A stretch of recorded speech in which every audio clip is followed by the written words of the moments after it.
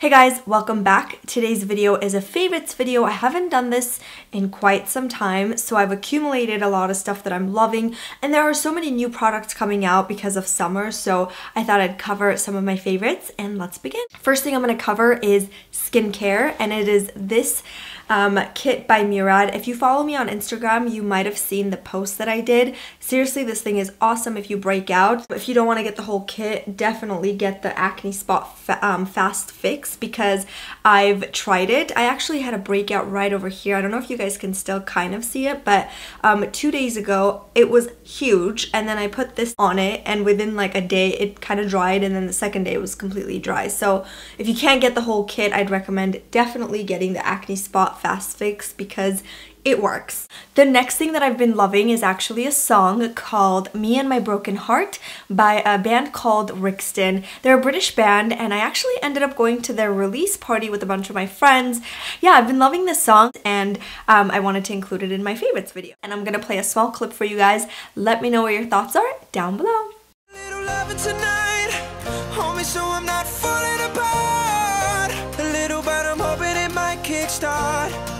Me and my broken heart.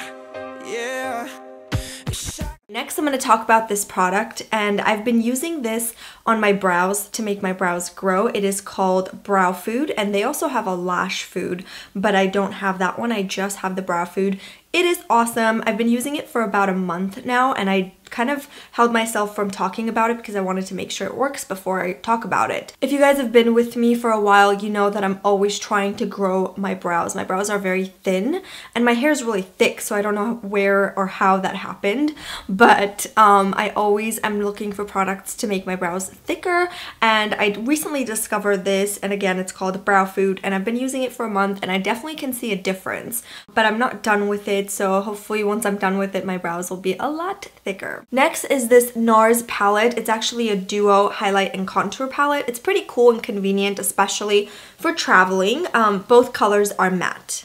So I recently discovered Beauty Addicts. I don't know how I didn't know about this brand, but I have to say I really like the brand. So I'm just gonna go over my favorites. The first thing has to be the mascara. It is so amazing. It just gives you really full um, full looking lashes. It's not necessarily for length, although I think it says it's for both, but um, I love it for fullness. I, I've been using it for about two, three weeks now.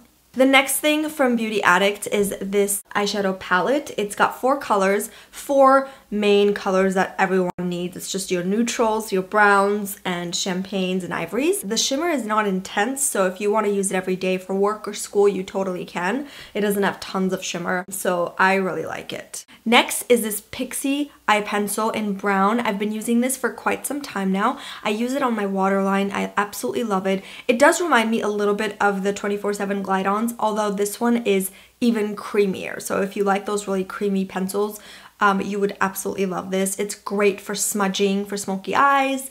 Um, I like to wear this on my waterline, which is what I have on today, so it's definitely a favorite of mine. Next, I'm going to cover some lashes that I really like. Ardell is a great brand, obviously. I'm sure most of you guys are familiar with them. Uh, the three that I like from them are, of course, their individual lashes in double flare because it gives you a lot of definition and fullness versus the regular individual lashes. And the Demi Wispies in blue.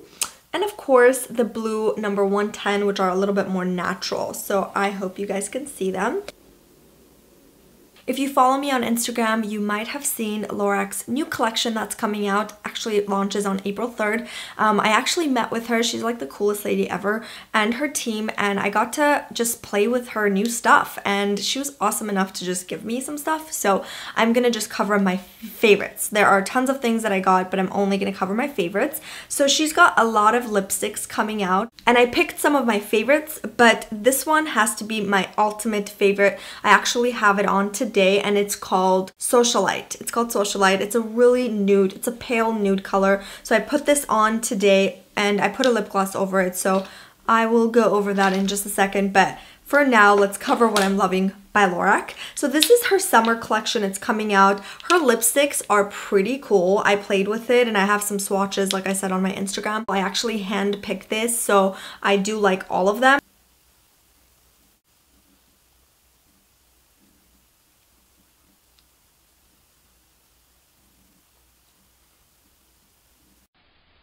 The next thing I grabbed from Lorac is this palette. So she's got a lot of cool different colors going on. She definitely has her neutrals, which is very important, but she also has some color, which I really like. Um, it's very rare to find palettes like this that they combine both neutrals and colors. I feel like it's either all color or all neutral. So it's kind of nice to have best of both worlds, I guess. And um, that's why I really like this palette. I actually have this on today. I did use this purple color. It's kind of like a lavender purple mix and some browns and of course the highlight color just on the inner corners. So definitely a favorite of mine.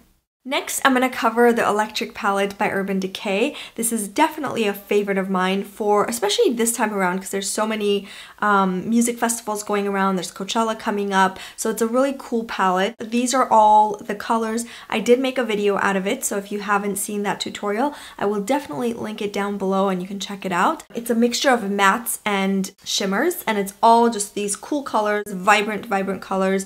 Obviously, the pigments are great because it is Urban Decay, so definitely a favorite of mine. Um, I'm sure all of you guys have seen pictures or videos going around using this palette, so it's, it's become a very popular palette. This lip gloss is by Bare Minerals and I just got this. It's called Spark Plug and I have this over the Lorac lipstick that I just covered. It's a really cool color, pretty neutral. So when you apply it over a nude lipstick, just gives you that just tiny bit of color so um, I really like it. So the combination of the Lorac lipstick and this lip gloss is so beautiful. I hope you guys enjoyed my favorites video. If you have a favorite product, definitely comment down below so I can check it out. And of course, if you're on Instagram, my username is Makeup by Sona. You can follow me if you like. I will see you guys very soon. Mwah. Bye!